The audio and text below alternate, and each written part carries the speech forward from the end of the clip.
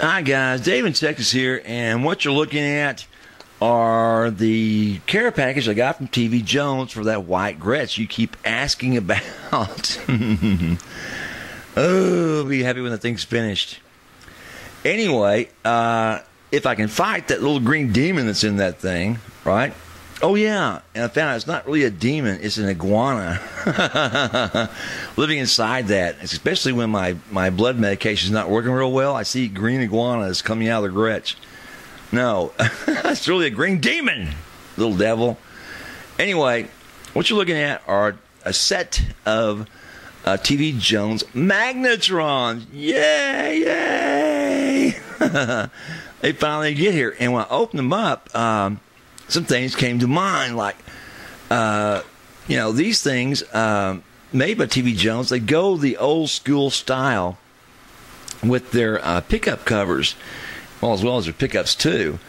Uh, they're absolutely heavy as hell. And one of the slight reasons for that is that they use, that's what I've told when I've read some places, they use the old method of uh, plating, of gold plating these uh, their pickups. You see this? I mean, that's absolutely beautiful. It's almost like jewelry, for goodness sakes. You got it? Look at that.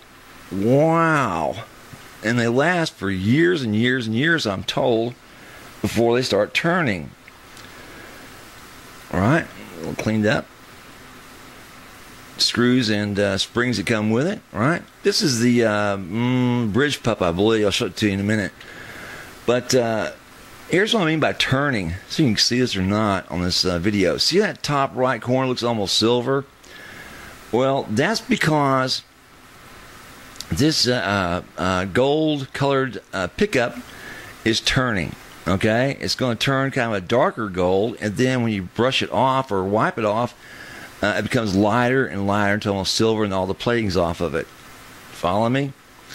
So if you're looking for a fake, that's the first place to look. See that pup turning? Well, the better ones don't do that. Now Gibson, even the gold ones on those will turn, but after five or six years. TV Jones, I'm told 10, 15, 20. Some of them even better than that if you take care of them. Keep your hand oils off of them, right? Wipe them down once you use them or touch them.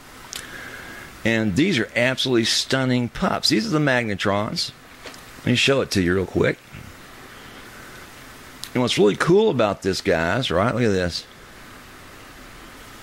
This is the bridge pup. Is that these are fours and sixes, not tens, twelves, fifteens, because it's not a rock, uh, you know, uh, guitar. It's a jazz guitar, and we don't want heavy distortion. You got me? And what's really nice about this, it comes with that four wire if you want it. Those green and blue? Or they've heat shrunk it, we can just use the two leads and just set it up simply. All right? Your choice. You want to split it, do whatever you want to with it. There it is. Your choice. Okay? Nice. Now, I know I'm to get some uh, letters and emails and stuff in from you guys complaining about what I bought for this guitar. And trust me, I tried this fake Epiphone right, that I had. It was one of the better fakes I had. Right? It's a fake Epiphone from China. It's 11.5, and it's just too heavy distorted. It's great for a rock, you know, um, pup, and I've actually potted this myself. You can see where I've opened it up on the uh, solder spots. I've popped those open and uh, um, potted it. But the problem is, it doesn't do that clear tone that you want, that fat, jazzy tone that you want from a Gretsch, right? That's what you want with a Gretsch. You don't want, you know, uh, uh, it sound like a solid body, which is what this made it sound like. It made it sound like a Les Paul, basically. And that's why I'm so disappointed, you know, with it to begin with. But these pickups, right? And here's where I'm going to get the letters. About 150 a piece. These are the English mounts, right? And this whole shooting match I got here, um, these risers, what they call them for the English mounts, right? They're gold uh, to make it fit a uh, uh, you know humbucker's hole, and these gold uh, tuning knobs, which are Gretsch. And these things are heavy as can be. It's like wow, even being solid metal, they're heavy. You didn't think about it. These are really heavy. It's about a pound and a half, and uh, these two have that uh, old style uh, plating for gold, 14 karat gold. It makes them so darn expensive. These are like 70 bucks for a set of these. Right? Gold little knob for five bucks. Even the darn gold knobs are expensive.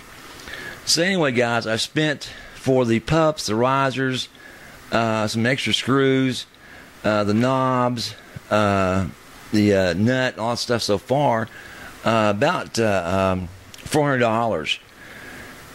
And yeah, that's a lot of money for these fake guitars, considering it probably cost three fifty if I had bought it. Uh, hmm. I put on a pair, a set of uh, Ping uh, um, tuners. That was sixty-five plus tax. And uh, what else have I done to it? Well, once I put on a new pick guard, a new truss rod cover, and uh, uh, filed the frets on some of it, uh, replaced the pots, the caps, all that good stuff. You know, everything replaced on it. It's probably going to be around six fifty. You know, that's probably a good guesstimate on the price of these parts. And three fifty for the guitar, so we're looking at a thousand bucks. You know, and I could have bought a uh, uh, Electromatic for like nine hundred.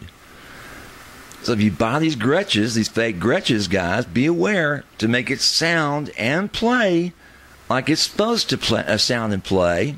It's going to cost you a lot of darn money, much more than the one Electromatic cost that has these pups on. They have, well, uh, they're not the Magna'Trons, but they're TV Jones, you know, or Gretsch pups, right? I think you pay extra for the Magna'Trons, like. Uh, maybe a thousand bucks.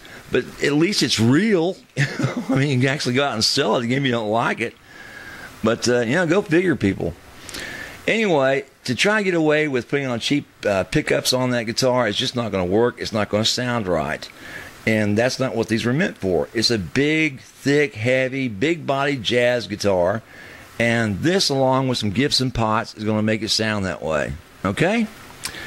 Now, for all you guys writing in asking me about these bridges for these guitars, I still recommend the Wilkinson Roller Bridge, right? And you get these in different sizes, I understand. You can get them to fit the American made or the Chinese made. But since there are 10 factories that I know of in China that make these uh, fake Chinese guitars, especially the Les Pauls, maybe even more that uh, make those, you really do need to measure. Get a caliper and measure it hole center to hole center, and then tell me what you know what that measurement is. I'll tell you what size uh, and what model of um, you know roller bridge to buy. Because otherwise, I'm kind of just guessing in the dark. You get me? Uh, just to you know, write me up. I don't mind you writing me, but uh, usually I have to tell you I don't know because I don't have a measurement. And for you to order something in the in you know in, out of the dark and out of the blue, good luck, buddy.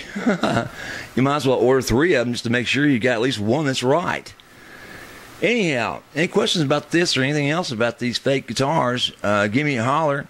Uh, I should have the TV Jones and the Gretsch fixed up here in a few days for your listening enjoyment. and for my consternation for spending so much on this fake guitar.